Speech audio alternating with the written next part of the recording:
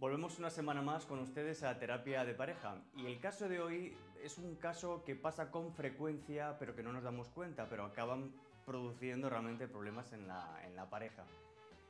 Es, una, es un matrimonio donde ella tiene una serie de amistades, tiene una frecuencia en las salidas con ellas y se lo pasa bien. Y el marido pues está teniendo bastantes celos. Eh, la controla, eh, está constantemente fijándose en el móvil, llamándola, es decir, no la deja salir. Entonces, ¿qué ocurre? Que la mujer pues empieza ya a cansarse hasta el punto, bueno, pues que está planteándose la separación.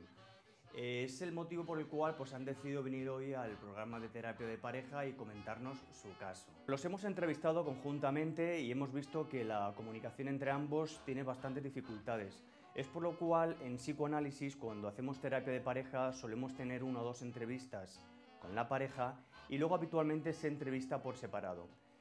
Eh, hemos visto que la actitud de la mujer es bastante normal y bastante coherente. Una mujer que tiene su casa, que tiene sus hijos, eh, que trabaja y que le apetece también salir con las amigas. Y sin embargo hemos encontrado en la figura masculina pues que hay un exceso de dependencia hacia la figura de su mujer. No que sea malo, pero estamos viendo que esa extrema dependencia le está llevando a celar cualquier momento donde la mujer no se encuentra cerca de él. Eh, hemos decidido tener una serie de sesiones con la mujer, pero realmente el que va a entrar en terapia en este caso va a ser el hombre. Analizando el caso más en profundidad, hemos visto que muchos hombres suelen tener dependencias extremas hacia la figura femenina que analizándolo inconscientemente pues tienen relación con cierta figura materna que ellos han creado en la figura de la mujer. ¿Qué ocurre esto? Es como si realmente fuese una madre y un hijo donde la madre, cuando sale al mercado, sale a trabajar, el niño se empieza a poner inquieto, malestar general, pregunta dónde se encuentra y bueno, pues llega a sufrir hasta ataques de malestar, de angustia y de ansiedad.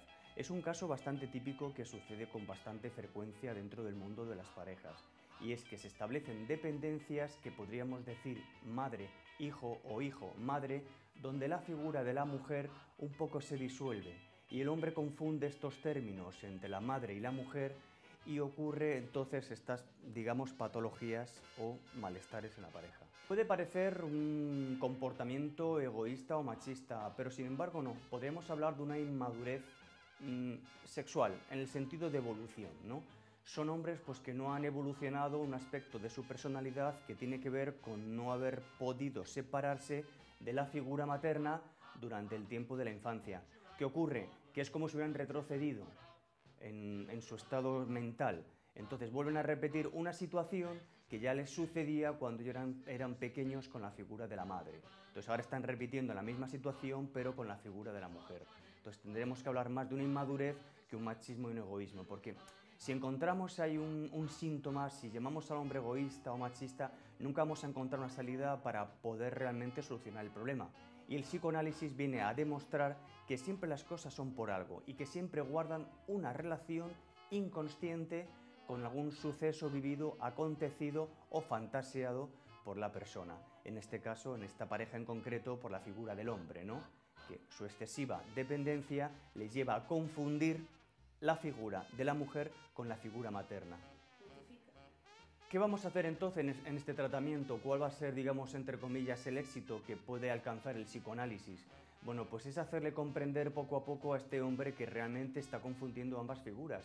Entonces vamos a tener que trabajar un poquito a nivel inconsciente cuál ha sido la relación que él tenía con esa figura de su madre en la infancia y a partir de ahí que construyamos ese entendimiento ese hombre pues estoy seguro que se va a relajar y se va a dar cuenta que si la mujer tiene capacidad para disfrutar con sus amigas, él también puede disfrutar con sus amigos, que pueden conversar, que pueden irse juntos, es decir, que el mundo realmente se abre para los dos, pero cuando ya aparece un hombre y una mujer, no un niño y una madre.